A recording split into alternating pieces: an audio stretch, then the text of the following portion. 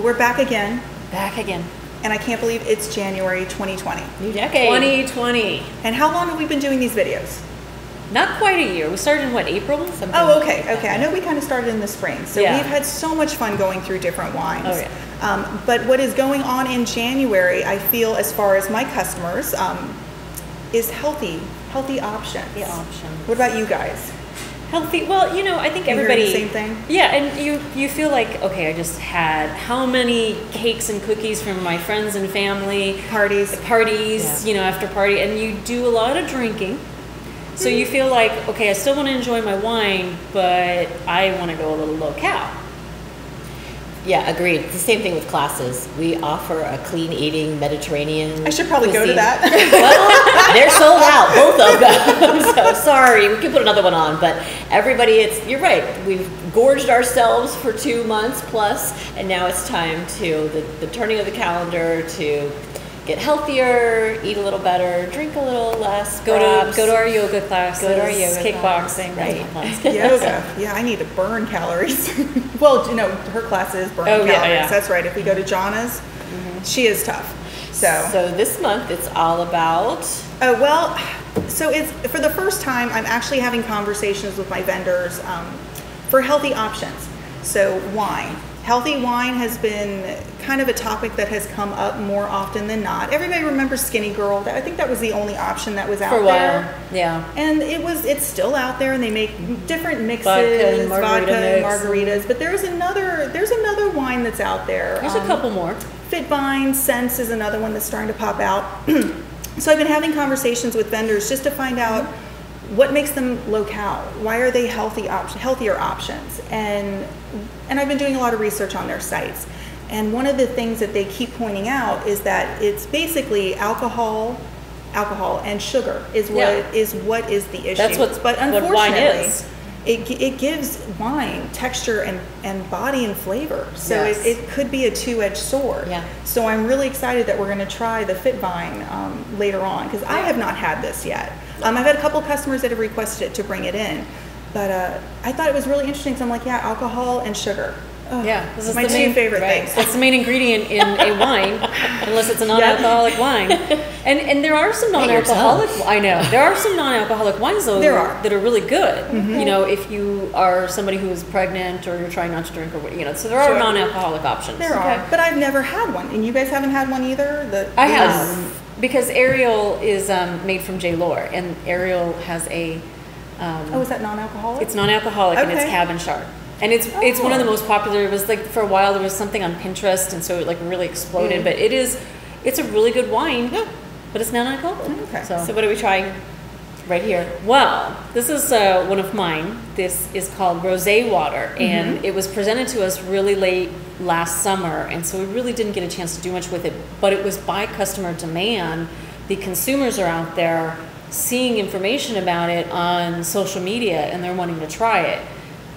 Literally, this was made like last summer. They were putting it out there so fast that the demand was out before the product actually came out. And it's in this alternative packaging that It we discussed episodes ago, so it's perfect for Yes, so I didn't have time for our alternative package conversation with this one because it came out so late last summer.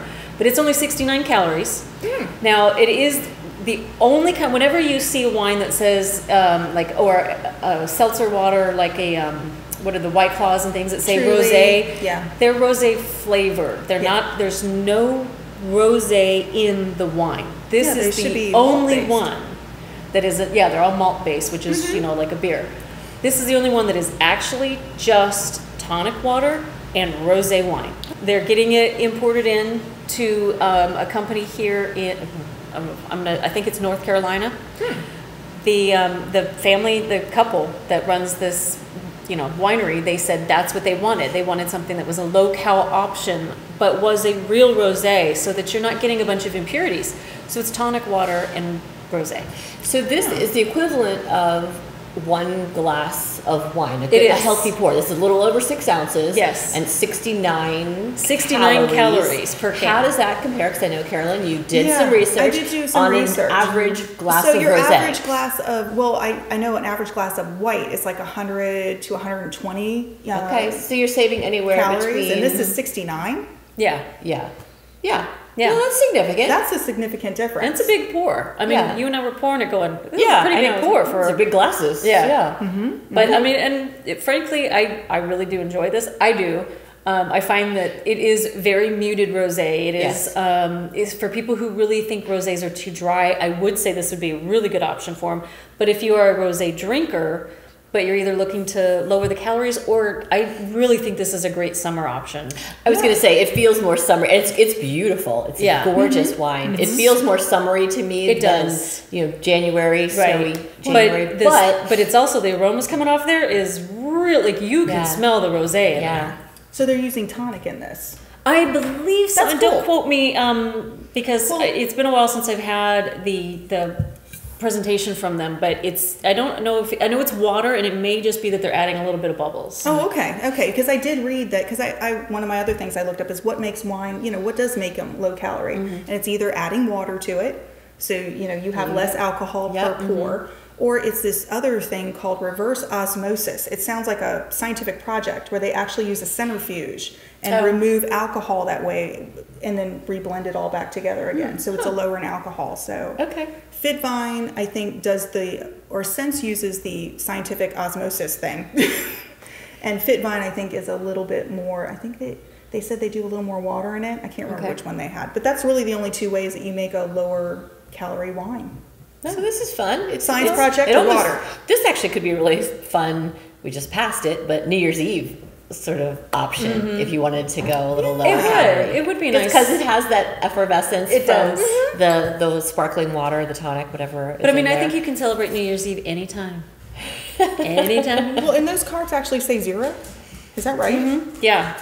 That's crazy. I mean, you'd have to hold it back there for me to see. I know, Yeah, I'm, I'm pretty like- sure it says zero. That is really low. Okay. Yeah. Well, So that it is- definitely it's goes a- into the low cal, healthier It lifestyle. is. And, and I mean, I'm going to just point out because the way I lose weight, and obviously I do it just so fast. It's just so rapid. You can barely tell. I know. Um, I'm not going to give up my wine. So I am exercising. I do take my kickboxing class to try to lose weight that way.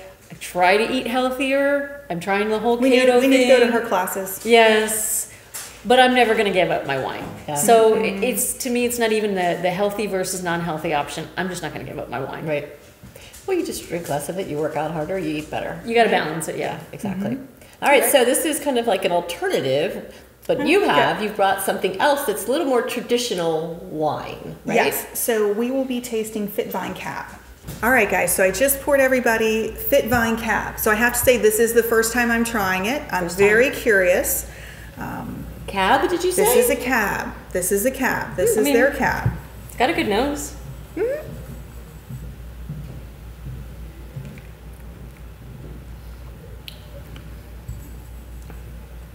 This is much lighter in color than a Mm-hmm. traditional cab, isn't it? And it's a little lighter in, in flavor. In weight. Mhm. In Yeah. weight. Yeah. But remember, it's either They sucked the. sugar or alcohol that they've got to remove to make Right. it a little bit healthier. So But- what is the alcohol content? Yeah, what's the scoop on this? Oh, let's see here. I know. Let me hold this really far back I so I can see I'll it. it from here. Okay, no, I can't. Sorry. Where is it? It's always It like doesn't even tell you. Wait, no. 14. 14. All right, So, so, sugar. Mm-hmm. They, they went on the sugar, not on the alcohol.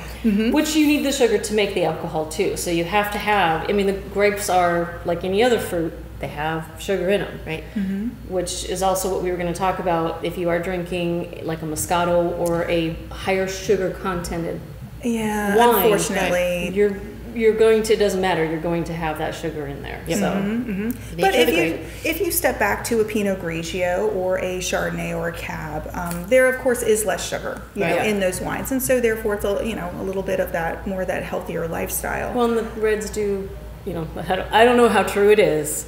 There's a lot of studies on both sides. Whites are actually lower in calorie than red a little bit, is what Is I it? keep reading. It's because of the uh, reds have higher alcohol. But red's supposed to be better for your heart, right? It's always a trade. You know what? I yeah, I actually have doctors that Uh-huh. send people in Yeah, for certain for red, red wines. wines, yeah. Mhm. Really? Yeah. Who's this doctor? I know. Yeah, I know, right? We've had that happen a couple of mention him on times. TV. Yeah, so doctor. But I think overall it's got some good fruit. I mean, it does taste a little bit. It's a little Mm-hmm. bit, you know, lighter in weight, but Honestly, if you told me it was more of a, of a Pinot Noir, I know. I would have. It is I would have like believed Pinot that. You're right. And you know, he, I would have believed Pinot Noir, not necessarily even a health, a light. I don't want to say healthier version. I don't know healthy is the right descriptor, but lower, lower carb, lower calorie. What do we have? What are the numbers on this one? Well, if you do a cab to cab, they're actually very similar. If you're doing a traditional dryer style cab, so it's like 0.05 versus 0.06 in the in the uh, grams of sugar. And we're just talking really- average for you know cab versus cab. Yeah. So you Um, really, if you're drinking a And the carbs are you could- kind of close too, but there's a significant difference if you're going from slightly sweeter wines like a, um, a, a Moscatos, you know, Malvasias, things like that that just Mm-hmm. have a mm-hmm. little bit more sweetness to Rieslings. They're going to have a little bit more sugar to mm-hmm. them, so there is a significant Yeah. difference in that. But as far as a, a cab to a regular cab, it's it's close. But again, white wines are a little less calories. So, am I hearing you say it's really fairly It's- negligible, and the difference is in marketing and It's- labeling? It, it's close. It's close. I mean, what's this called? Fit Vine? It's called Fit Hello. Vine. I I mean, mean, they know who they're talking yeah. to when they when they Yes. label it that with Yeah. somebody running on the front You of know, the bottle. they're ingenious I because mean, I, I have more say- and more customers come in saying, "Do you have this Fit Vine?" And Yeah. there's another one out there that no one's even talking about yet that I'm doing research on called Sense. So, and it's even lower in calories. We'll have to see that. So we'll happen. and then you've got this rose water, the 69 calories that no one's even seen yet. So Yeah. So, there's options out there, but it is ingenious marketing. well, right. Yeah. It's, I mean, look, Skinny Girl made you know She did. a fortune Right. with that whole label. Mm-hmm. So. Uh, this is their cab. What other varietals do they have? So they the carry a Pinot? Grigio, a Chardonnay. Okay. Um, they also in the cab they do not. I don't think they have a Pinot Noir yet, but give them time. Right, Um, I know there was a holiday red blend that was floating around. Yeah. Um, and then this other line only makes rosé, Sauvignon Blanc, and Chardonnay. Huh. That's so all I can say. staying kind of white.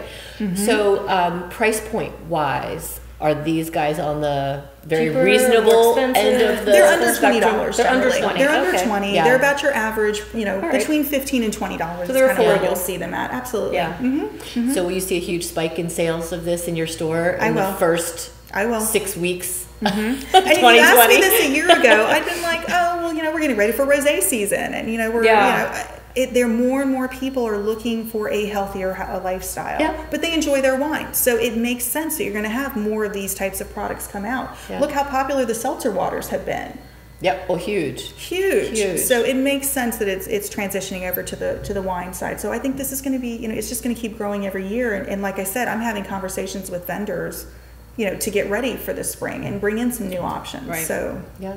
Well, and I, it, it is marketing. I think people should though be aware that you were giving them the numbers, and I think that's be aware that in any wine, it's a winery. They have to make money. They are a business. It's not just we love it. It's fun for us, but it's a business for them. Yeah. So they have to do marketing. You know, mm-hmm. and, and what's Hey, the best way to market it? It is.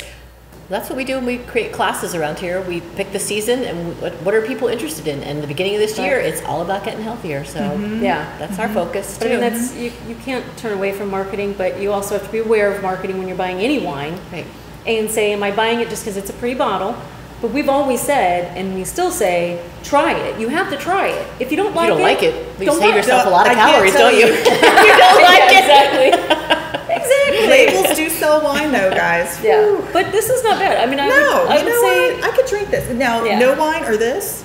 Yeah, I'm doing Um, this. Oh, well, I'm yeah, doing this. Yeah, hello. but. I will still say because we get asked all the time, you know, what are the? Does it have sulfates? Every wine has sulfates. Natural it has sulfates, It, yeah. you have to. So, but let's talk about something else. I'm going to switch our topic Mm-hmm. really fast because, yeah, that fast. Because we have like a massive snowstorms happening in this country, or they did in December, um, which you know we film in December. Just a little, little note there, but massive snowstorms. You get snowed in. You don't know when the plow is coming. How do you prepare? you for come your see snowstorm. me and you buy products. But I have a way to measure how what you buy and how much wine you buy. It's one bottle per inch. Well, how do you know until it snows?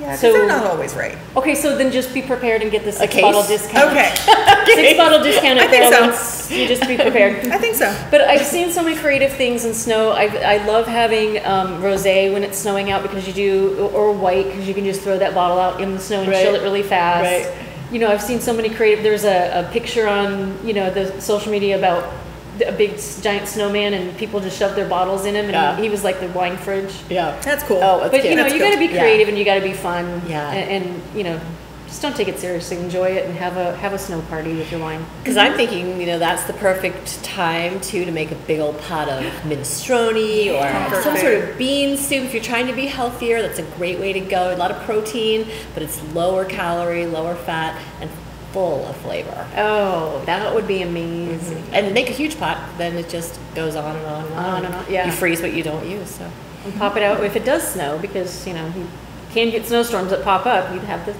already made. Soup, right? Now you've got soup recipes in your new cookbook. We do.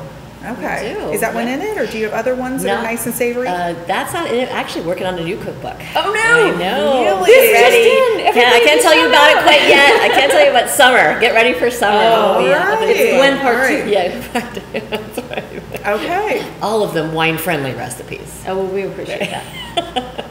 So what's coming up in February, ladies? Ooh, we got something special. We got something special. And it is Yes, Drum we, roll. We have a guest coming, and she is a chocolatier. She makes chocolates for Gwyn for a lot of our, um, well, your activities that I get to join in Yep. on sometimes. But she's gonna Didn't come. we just get done talking about locale? That was so last month. That's January. you gotta build those calories right back up in six February. weeks. them so you can see, so you can yes, be Yes. ready for the chocolate. Well, they're little baby pieces of chocolate. That's right. You know, I mean. But again, I hear she's unbelievable. I've heard about her. I've not tried any of her chocolates Yeah. yet. we are going to try I've on heard camera. she's We excellent. she's gonna talk to us about pairing chocolate and wine, just if you wanted to have something romantic at home. Okay, and we'll do have it to yourself. we'll have to check it out though and make sure her pairings are correct. We'll Yes. research. We'll have to research. Definitely have to Yeah. research. I'm sure they'll be delicious. Um, and, and we were just going to talk about also part of our gift buying guide. If you are out there wanting to buy your significant other a nice bottle, what should it be? So we're going Right. to give some suggestions on gift Okay. bubuying Some red, Different price points, that'll be good. Bubblies. And Yep. even if you're going out to a restaurant, what to mm-hmm. look for. What to look for? Yeah, because how many times they're so booked up. Yep. Yeah, make your Yeah. reservations now, Now. gentlemen. Okay. Right. Yeah. I find a lot of people do not go out to eat on Valentine's Day, that they actually look for alternative things because they've done that. So I'm sure your classes are probably really booked up at that time because that Well, would you know, different. it's funny because the most popular class that we teach all year long is our couples in the kitchen aphrodisiacs class. So it is three courses. Uh, Each course features numerous aphrodisiac ingredients. And then we have wine pairings with each course, and it is so much fun. I said I'm not responsible for what happens right after people leave. I need two. Two tickets. Okay. It's probably on your calendar now, right? Oh, it is. You can go to the website and sign up and yeah, get there fast because Yeah, it, well, it will sell. It's two nights back to back. So Wow. Yeah, we're actually going to be doing a chocolate and wine pairing with Dana as, Oh, nice. as a pre uh, Valentine's Day event. We are doing, I think it's brunch for lovers as well, sort of French crepes and fun stuff like Oh, that. that sounds great. And there's one other, tons of great stuff coming up for Valentine's Day. And we will be starting our dinners back in February, I believe. Yes, yes. So we will all be back in my store for our, our wine and uh, food pairing classes. Yeah. Yes. Can't wait. Perfect. All right. So with that, Cheers and Cheers. you in Cheers. February. See you next month. Oh, like, Don't forget subscribe, to share. Yeah, what she said.